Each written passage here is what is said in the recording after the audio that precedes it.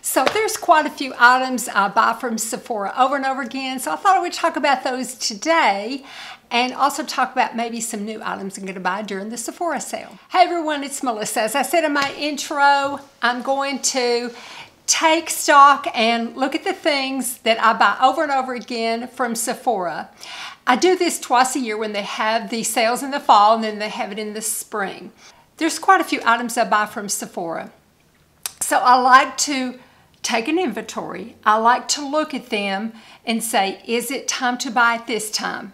Is it time to repurchase it? And some, some of them I have done for years, uh, bought them over and over again.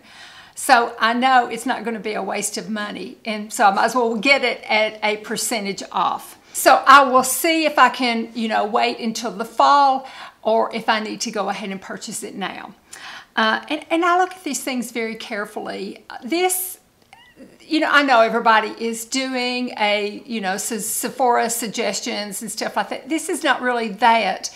It's more of a, this is, this is what I repurchase. So, you know, I'm just kind of sharing with you what, what I like to buy from Sephora. Now, the sale started yesterday, so I'm a little late getting it up, but I am not Rouge, so my discounts can't start till the 9th, and it all runs through the 15th. So now, starting yesterday, the Sephora 30% off Sephora items, 20% off Rouge, uh, starting the 9th, the, the Rouge started yesterday, starting the 9th, uh, will be VIB, which I believe is 15, and then the Insider, which is 10, and they all run through the 15th. So I can't buy my items yet, but I'm planning ahead and taking my inventory to see if, see what, if anything, I need to buy. And I won't say if anything because there are some items I need to buy. So these are my Sephora favorites that I buy over and over again. And also, I found two items that I want to try. Now this is a good time to buy something maybe you've had your eye on and you don't know whether to go ahead and purchase it or not. So you can give it another look, find out if it's worth it for you to try. Also, this is what I do. Look for, if there's something that you want to buy that you're very interested in, see if they have a mini version of it, like if it's a mascara see if they have a mini version or you know there's several different things that companies will do a smaller version of. Plus you're getting that discount on top of it so you can maybe try some items that you haven't been able to try before. Also if there's like an eyeshadow line that you've been wanting to try see if they make a mini version of the colors that you're interested in. That way you can try the line try the formula at a reduced cost. Plus you're doing a mini version of it which is going to cost less too and it will be more affordable to try that line so these are some of the things that I do in choosing new products to try. So let me go ahead and get started. Um, I'm going to start with hair. I love the Bumble and Bumble Spray de Mode. Every time I do a curling iron or flat iron, I've been doing flat iron curls, flat iron uh, a lot of times too, but I did a curling iron with this. And so I spray it with the Bumble and Bumble Spray de Mode. It is a flexible working hairspray, which means that you can spray it and it will hold it, but you can still run your fingers through it. It isn't stiff. So I can do my curls and I'll spray it in a section. If I don't do that, by the time I get through and go back to the first section, it's already fallen a whole lot. But when I spray with this, it stays put while it cools down, but it isn't so stiff that I can't run my fingers in, in it. So as you can see, it's well loved. I've lost the top and then this is kind of broken but it still sprays so I'll still use it. I think I've got about this much left so I will repurchase this right now because I know I'll use it and they have a mini version of it too so if you're wanting to try this try the mini version. Okay I hesitated to mention this but this is something that I use so and I bought it several times both of them it's Kerastase. And the reason I hesitate because it is expensive. It is on the pricey side. All the Kerastase products are. Now, I usually use nine times out of 10 the Nioxin number four line. I, I tried the number six and I talked to you all about it, but I went back to the four because I just like it better. Um, so I tried that. I do the whole number four line of Nioxin, but occasionally when I feel like I need a little bit of extra body to my hair, maybe a little more, you know, make it a little thicker looking, I'll go to the Kerastase uh, Densifique line. It is for thinning hair. I'll use the shampoo and then I'll use the mask. I don't use them full time because I just can't afford to. They're too pricey. So most of the time I use them nioxin and then periodically, maybe once a month, I'll do a shampoo or two of this to give it some extra oomph. Then to go back to the nioxin. So I bought this last year and I still have some. So I think if I'm careful, I can make it through till November. So I'm not going to repurchase this, but I thought I would mention it, that I do buy it regularly and have for several years. Okay, now here's a little hint that has worked for me. The Boom Boom Cream. I bought, this is a bigger thing of it, but I bought that I'm going to link a little jet set. It's a little travel case of the Boom Boom products, so Sol de Janeiro. So it's the Boom Boom Cream, uh, and it is the spray, and it's a little thing of body wash, and it's good to travel with. It's $30. So I bought that uh, because I like this so much, and I wanted to try the body wash. And I like the body wash a whole lot. But here's what I've discovered about the Boom Boom or Bum Bum Cream. I've seen it pronounced both ways.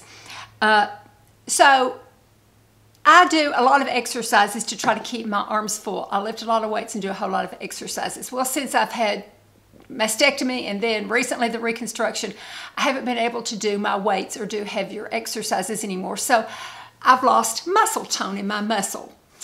Uh, and you know, women have these saggy, have a tendency to, I guess men do too, have a tendency to get this saggy area, these bat wings right here that, you know, you move your arms and they keep on, they're still flapping an hour later. It's not pretty. So, you know, I work to combat that. But also that comes with that is crepey skin. And it looks like, it makes your, your skin looks like, you know, you wrinkle up tissue paper and do it back out again and you got all those little lines in it and y'all know what I'm talking about. It's, it's very lovely and attractive. So, not. I've always used the Glytone exfoliating body lotion and I felt like it always helped with the crepiness. And you know, I kept using that and I use it every night before I go to bed. I, I, like it. I put it on my arms and I put it all over my whole body. I feel like it helps with my spots. I've used it for years and I feel like it's helped with the crepiness when I do my exercises. But since I've lost the muscle tone, I've noticed the crepiness sneaking back in, even using the Glytone body lotion. So what I did was I thought, well, this Bum Bum Cream or Boom Boom Cream is supposed to help with cellulite. I have my doubts, but I'll put it on my arms and see if it helps with the crepiness. Well, doggone it, I believe it has. I, I've looked and I've looked and I've looked. Of course, my muscle tone is not there, so it's, you know, flabby. But I don't have the crepiness. It has helped with the crepiness. So I'll do this in the morning before I put on my clothes. I'll rub it in so I won't get on my clothes. Then at night, I will put on the Glytone, and I think it's helped with the crepiness. I really do. I talked about it on Instagram, and I don't know why, but I do feel like it has. So I'm going to continue to use that. And so that's why I wanted to buy that jet set. Okay, my cleanser. I love the Shiseido cleansers. And my very favorite one is the Clarifying Cleansing Foam. This is the perfect foam for me. I've mentioned a million times, but I like to get a foam on my skin, foam it up, and kind of work it into my skin. Then I like to take one of the washcloths that I knit and I like to wipe off the foam. And then I like to, you know, kind of splash water on after that. So I like a foam that rinses off well, that that doesn't leave any kind of lotion feeling behind. I like it just to feel real clean, not dry, but real clean and neutral. And that's what this one does. You know, I've, I've, I've really worked around and tried all kinds of foams and all kinds of gels and everything. And this one was the one that's right for me. I bought it over and over again. This is a full one, but I don't have a backup. So I may go ahead and order it another one because I know I will use it. So why not? So I'm gonna put that to order again.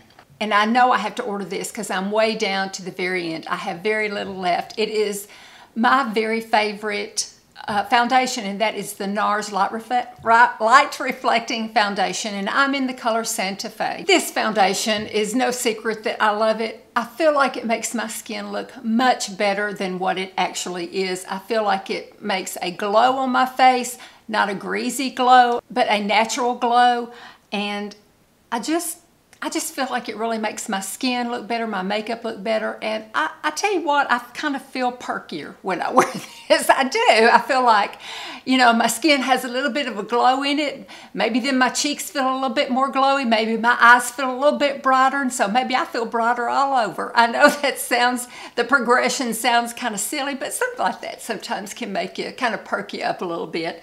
So I want to get this again uh, I love it. It's a perfect shade for me. Santa Fe, perfect. I know they're going to discontinue it someday. I just feel it in my bones or change it where it's not as good anymore. They always do that. They try to think something is that's just perfect. They will think I can do better and they make it worse. So I'm buying it while I can. Now, I have ordered or I am ordering two eyeliners. I'll tell you about the second one in a minute. Now, y'all know my ultimate eyeliner line is the Victoria Beckham. I just feel like, especially that Bordeaux, it just really gets your, it just deposits it, the color so completely where it needs to be to brighten your eyes. It's a very intense color, very soft, and it's just, I love it. But if I'm gonna wear a black eyeliner, which I will wear a black eyeliner when I do a real bold eye, um, I will tight line and do it in my waterline uh, when I like a bold eye, and I'll do that with a real pale lip. But when I do that, I want a black eyeliner that shows and is not gray or not charcoal, but is black, but is a soft black. And I have found that time after time, year after year with uh, Urban Decay Black Market. Now, I forgot the sale was coming up, so I went ahead and bought me one, so y'all know that I really do like it.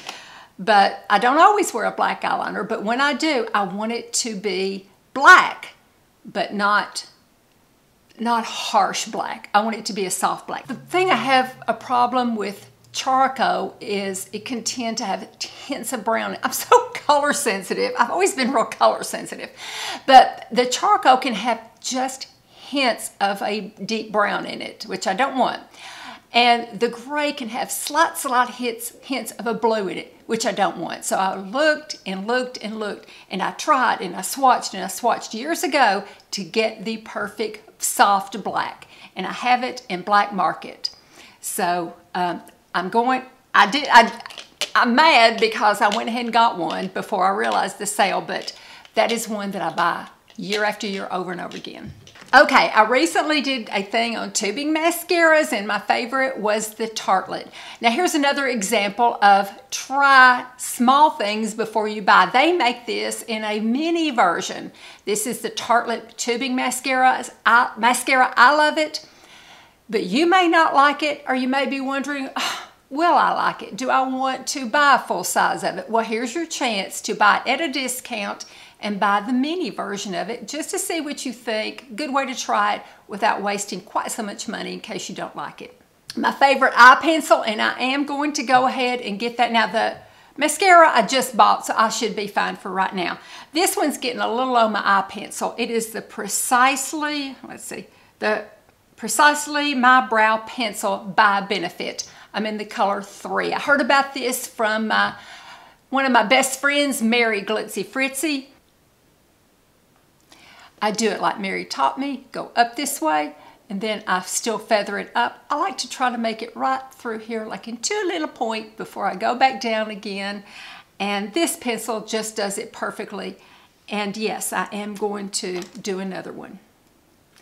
It's gonna cost me some money, but this, these, these things won't go to waste.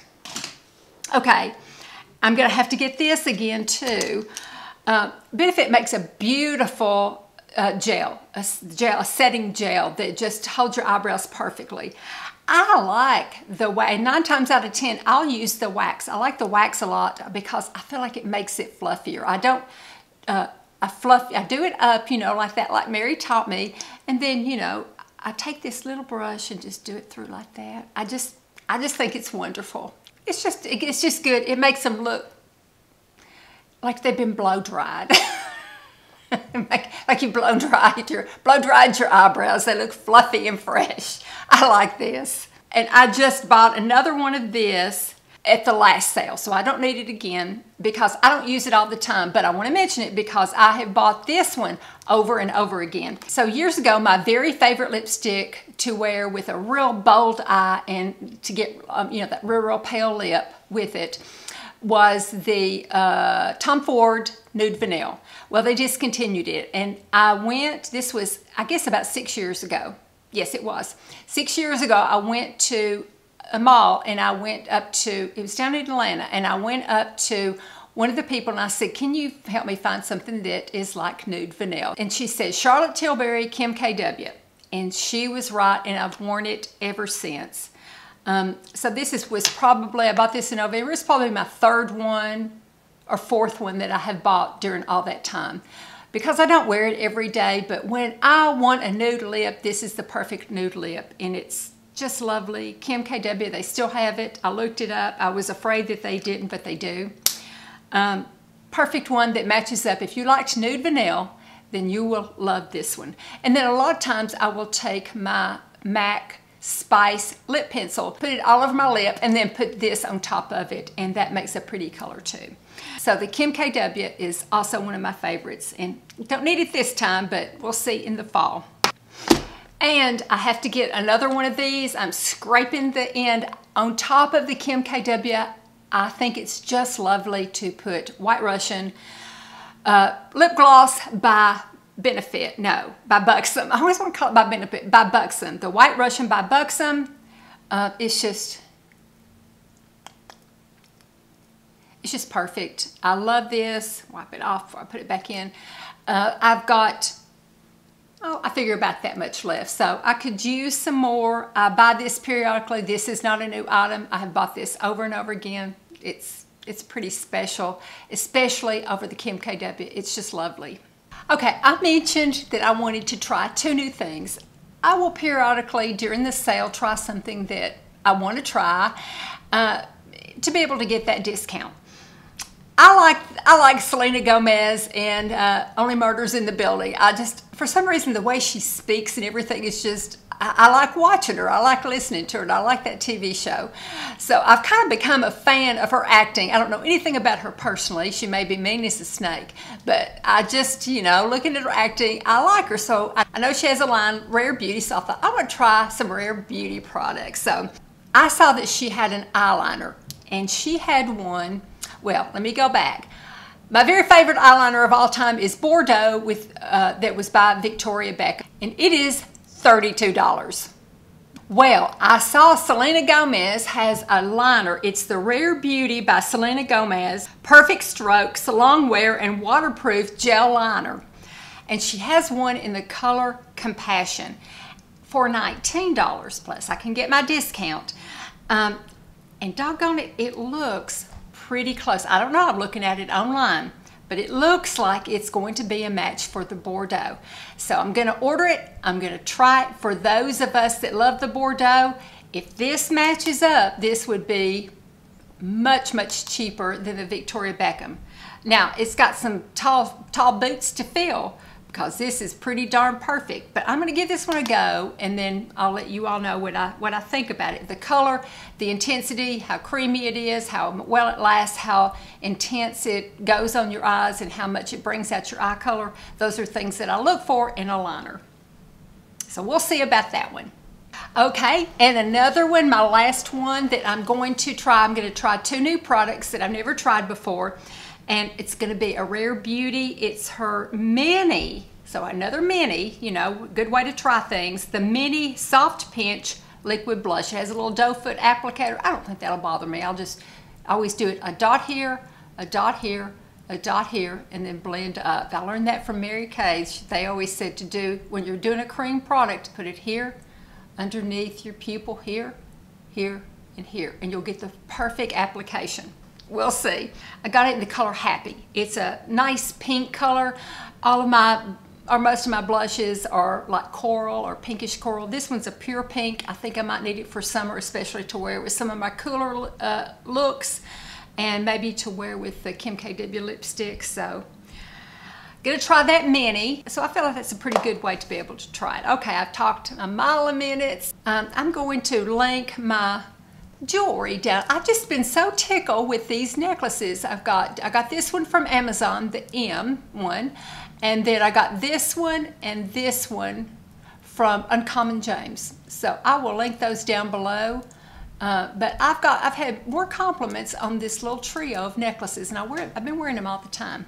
If I would mention that, I'll link them down below. Okay, so be sure and like and subscribe and do all the YouTube things if you don't mind. And I, I helps me a lot. I appreciate it. And everybody have a wonderful weekend. Take care. I'll talk to y'all in a couple of days and see you soon. Thanks a lot. Love you all. Bye-bye.